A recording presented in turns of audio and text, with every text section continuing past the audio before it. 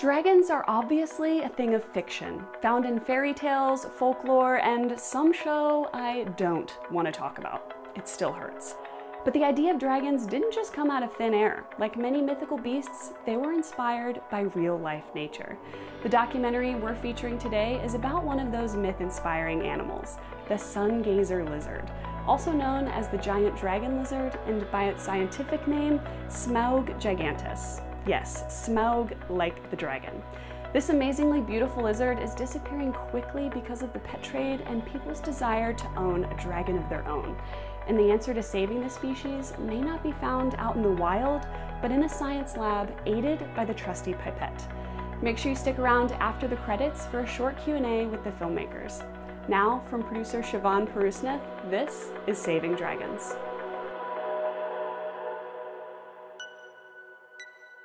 The sun gazer is a 20 million year old species of lizard found only in South Africa.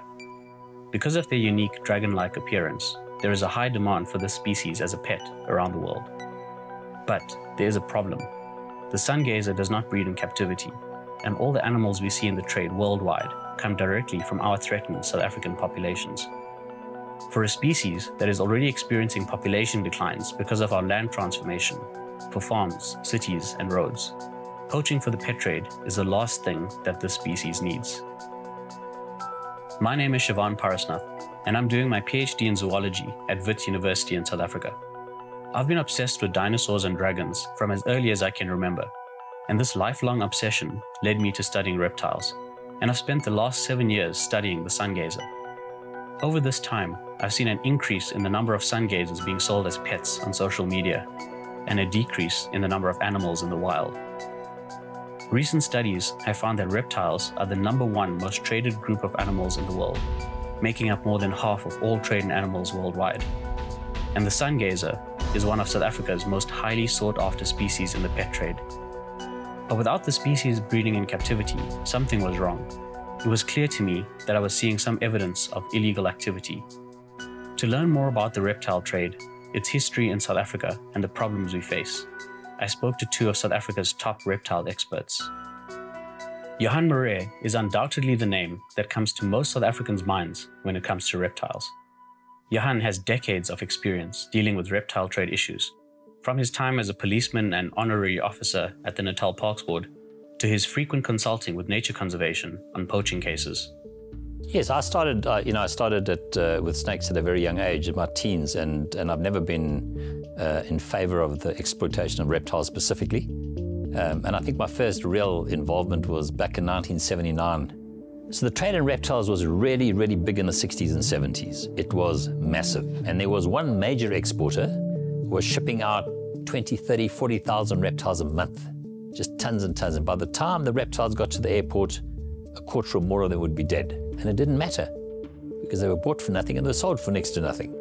And what they did in those days, they'd drop a half a dozen guys in a, in a hillside and they would sleep on that hill for the next four or five days with massive crowbars and they would rip the area past and catch every single reptile they get. And we would look at a mountain range and say to this collector, well, let's take a drive there and go see what we can find. And he would say, don't bother, we've been there. We've done it.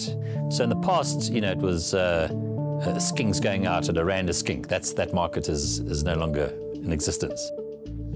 The reptile trade has boomed over the past few decades, with worldwide reptile fairs showcasing the vast variety of animals for sale. Unfortunately, there are loopholes in the system that are being used by people exploiting our wildlife for profit. Today, the market is much more sophisticated and specialized, and of course, the money is far, far greater. I think smuggling, although it's still going on, it's becoming more and more difficult. There are more parcels being X-rayed, and if again, if you think of this sort of money, you know, a good a suitcase full of re uh, rare reptiles is probably worth two or three or four million rand. If you have a, so what if you have to pay a fifty thousand rand bribe? It's not big money. So what is happening is there's more and more of this uh, this laundering where people are there's a stamp permit that's signed off by a doctor, a veterinary doctor, and the animals are going out with permits, but they are not being captive bred. It's just a big con. After talking to Johan, it was clear that South Africa's reptiles have long been exploited, with a clear list of problems facing rare and threatened species like the sun gazer. I spoke to Professor Graham Alexander to learn more about this worrying problem of reptile laundering. Graham has been lecturing at Wits University for over 30 years and has supervised more than 30 postgraduate research projects on reptiles. So, as with money laundering, when you launder something, you hide the source of where you derive the money, or in this particular instance, the reptiles. So, with reptile laundering, what happens is that people masquerade as, as captive breeders of reptiles when in fact they're actually poaching reptiles and selling, selling them into the pet trade. It's, it's very easy to to launder reptiles in South Africa because effectively, even if the, the legislation is there, there is very little uh, enforcement of that legislation. So it's very difficult to uh, measure where organisms come from, uh, whether they have been wild caught or whether they have been captive bred. So there are several groups of southern African reptiles that have got high demand in the, the reptile trade. Um, there's various types of snakes like the small adders. The tortoises are also in demand. And there's various groups of lizards, especially the cordylid lizards and some of the geckos, which fetch very high prices uh, internationally. Um, girdle lizards, and then of course the dwarf chameleons, very, very popular. Some of them have extremely limited distributions. Yeah, once you get to, the, to Europe, you go to Belgium, you go to Germany, you go to the Netherlands, and the USA is a massive, massive, massive market. With demand for our South African reptiles being this high, it seems like smugglers and launderers will find ways to get them out of the country, using the loopholes in our systems and the inefficiency and inadequacies of our local law enforcement to police these issues. But there are solutions. Okay, so the first thing we need to really change is our view of the importance of reptiles in ecosystems and how important they are in conservation. We need to take reptiles seriously. For reptiles, there's no budget, there's nothing. So it's all just random accidental captures. It's ridiculous. So, although we have the legislation in South Africa to to limit the um, effect of, of laundering of reptiles. The laws aren't really enforced. We don't really have the tools to uh, ascertain whether um, a reptile that's sold has actually been captive bred. And so what we are doing now is developing the genetic tools to do just that. But we only have that available for a few species. So we need an action plan. We need the authorities to take responsibility. We need to look at the genetics. We need to uh, impose restrictions on these exports, force keepers to have a genetic uh, data bank. Let, make them prove to you that what they are exporting is captive bred. Put the onus on them. An important part of my PhD research has been to develop these genetic markers for sun gazers so that we can do parentage tests on lizards that are to be exported for the pet trade. Since we developed these markers, they have been used in cases to deny permits for the export of sun gazers from South Africa and I'm happy to say that since 2015, no more sun gazers have left the country under the guise of being captive bred.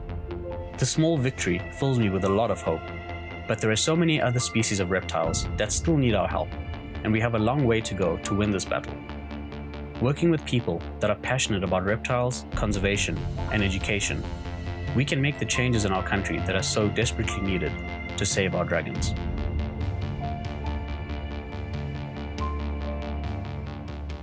Thanks for watching Seeker Indie's screening of Saving Dragons. We hope it's stories like these about animals you may have never heard of that will inspire the change we need to save them, because we definitely need more dragons in the world. Now we want to show you our Q&A with producer Shivan Parusnath, checking in on the status of the sungazer lizard and what is being done to help stop the very destructive wild pet trade. I'm Shivan Parusnath. I'm a biologist and a photographer and filmmaker from South Africa. I've been doing research on the sun gazer for 10 years now. I started off when I was looking for master's projects. It kind of was at the exact same time that I was looking to start a master's degree in biology. The Endangered Wildlife Trust, an organization here in South Africa, was looking to have a conservation assessment done on the species, basically to see how many animals were left in the wild, how populations are doing, how they've changed over time. My dad always has a camera out. From the time we were kids, even now when I visit him, there's always a camera around. As cameras became more accessible to me, I found them just to be a beautiful way to capture life and to capture moments. And as I went on this journey of researching the sun gazer, it's, it's, such a beautiful animal, but not a lot of great shots of the, the species had existed. I think that as a scientist, especially you have many opportunities to capture things a lot of people don't get the opportunity to. And that's why I think science communication is such a beautiful thing because you can share stories and images with people that are really just not accessible to someone in the general public and it lets you firstly learn more about the world and secondly allows you to care about things maybe you didn't know existed. There's a saying that the best camera you can have is the one that's on you. One of my favorite photographs that, that I've taken was um, taken with an old Samsung Galaxy S3 um, about seven or eight years ago.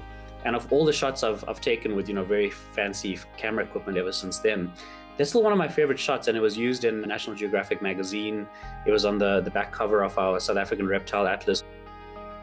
What we've got planned now is the formation of the first sort of uh, reptile working group in South Africa that actually aims to focus just on reptile trade issues with South African reptiles. So the aim for the next, I would say, five to 10 years is to kind of get this up and running, to do non-detriment findings, to have species listed on CITES so they, they can be afforded better protection. The idea is to have this multi-stepped approach. Of course, we want to continue with the scientific research to be able to use genetics. So it's just kind of taking everything we've learned over the past 10 years and applying it to many other species besides just the sun gaze. You know, my dream is that one day in a few years' time, poachers will say, well, I'm not going to poach in South Africa because there's just too much policing, they're too on the ball, you'll get, you'll get, you'll get caught out and there's no way you can do it. You know, that, that's where I want it to be. It's kind of getting there with sun gazers to an extent. And I would love that to be for every reptile where no one dares set a foot here with, with those intentions. This was Seeker Indie, Seeker's independent filmmaker showcase. Keep coming back to see what else we have in store and the amazing stories we continue to highlight. Thanks for watching, and we'll see you next time on Seeker.